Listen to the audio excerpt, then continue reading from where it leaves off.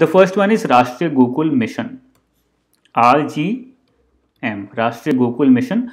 It was launched on 16th December 2014. So you need to remember that it was launched in the year 2014. What was the objective of Gokul Mission? Gokul words here signifies the objective to conserve and develop indigen indigenous bovine breeds or indigenous cattle plus other animals. Whatever these breeds are used in horticulture in uh, various uh, farming activities, developing the indigenous varieties of these breeds is the primary objective of Rashtriya Gokul Mission. It was launched in December 2014 with an allocation of, so this allocation is important to remember, 500 crores, a focused, now this RGM is a focused project under National Program for Bovine Breeding and Dairy Development. Now it's important to remember the differences here. Rashtriya Gokul Mission lies under Ministry of Agriculture and Allied Activities. It is a specific project under this particular program, National Program for Bovine Breeding and Dairy Development. Now this program also lies under Ministry of Agriculture and Allied Activities. But this mission is a project under this particular program that is National Program for Bovine Breeding and Dairy Development which is the department responsible. Now, Ministry of Agriculture has different departments also. So, the Department of Animal Husbandry, Dairy and Fisheries is the responsible department. So, in the examination, you can be asked a question in various dimensions from various dimensions. You might be asked which ministry is responsible for Rashtriya Gokul Mission or which department is responsible for RGM or which particular program looks after Rashtriya Gokul Mission. So, the answers are given here. What, are the achievements of uh, Rashtriya Gokul Mission till date? rupees 80 crores have been allotted during the year 2017-18 14 uh, gokul grams are being established and 40 41 bull mother farms have been modernized. 3629 bulls have been inducted for natural service. So what is important? 80 crore because it is allotted in the year 2017-18 14 gra uh, gokul grams important to remember and 3629 so it might be approximately 3600 bulls have been inducted for natural service. Some more information regarding RGM. What are the detailed objectives under RGM? So these might also be asked in uh, the examination specifically in ESI paper phase 2. These all uh, statements have been taken directly from the Ministry of Agriculture website and therefore these terms and these sentences are important to remember. So go through them again and again, go through the video, uh, probably you can write down in your notes and uh, revise these things again and again so that you are very well versed with the statements which have been used here. Number one, development and conservation of indigenous breeds. So this is a keyword here, development and conservation of indigenous breeds. Breed improvement program for indigenous cattle breeds to improve their genetic makeup and increase the stock. So working on their genetic makeup and increasing the stock is also one of the responsibilities. Enhancement of milk production and productivity. So enhancing not only production but also productivity of uh, these bovine breeds. Upgradation of nondescript capital, uh, cattle using elite indigenous breeds like Gir, Sahiwal, Rathi, Deoni, Tharparkar, Red Sindhi. So these are the various uh, indigenous breeds upgradation of which is a part of RGM. So these uh, the names of these indigenous breeds is important to, to be remembered.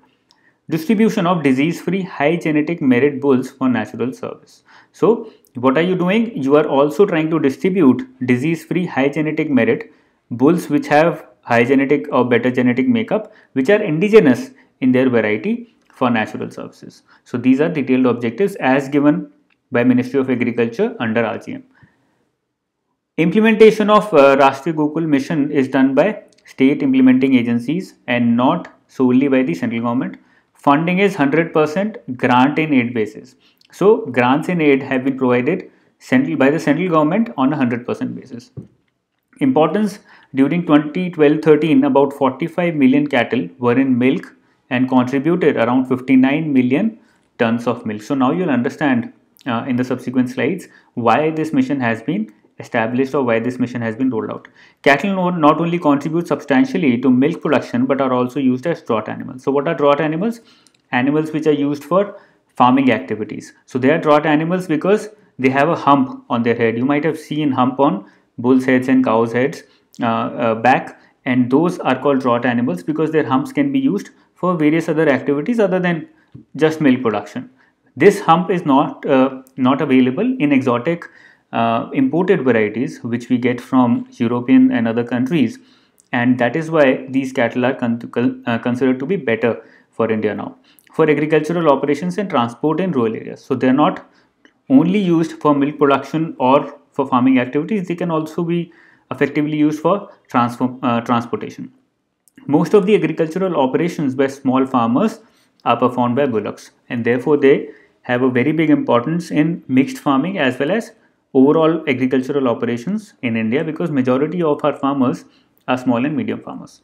They also provide cow dung that is organic manure and cow urine. Now this is very important. Now this cow dung organic manure is used in farming as well as in various other household activities and cow urine can be sold effectively for medicinal purposes.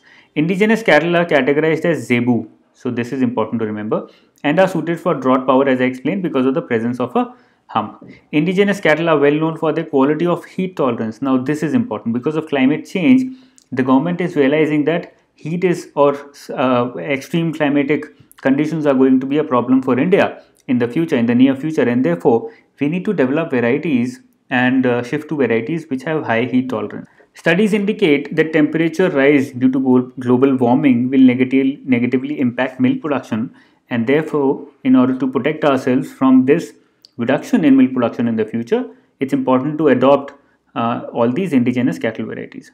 The annual loss in milk production of cattle and buffaloes due to thermal stress in 2020 will be about 3.2 million tons of milk costing more than rupees 500 5000 crores at current price rate. So this number is important to remember because this has been provided in the official Ministry of Agriculture website and therefore this might be picked up and asked in the examination as well because this is a forecast that has been given by the ministry.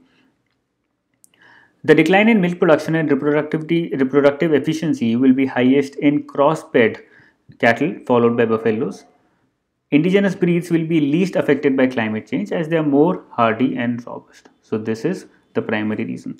Some of the indigenous breeds have enormous potential to become high yielding commercial milch animals under optimal farm management. So it's not that we are following or we are adopting indigenous breeds out of some compulsion of uh, threat of climate change. It's also that indigenous breeds have the potential to become high yielding commercial milch animals. It's just that we have not realized it yet. We have not exploited that particular dimension. And we have started we started in the, about 20 years back we started adopting and importing a lot of exotic uh, breeds from european countries who were considered to be uh, high yielding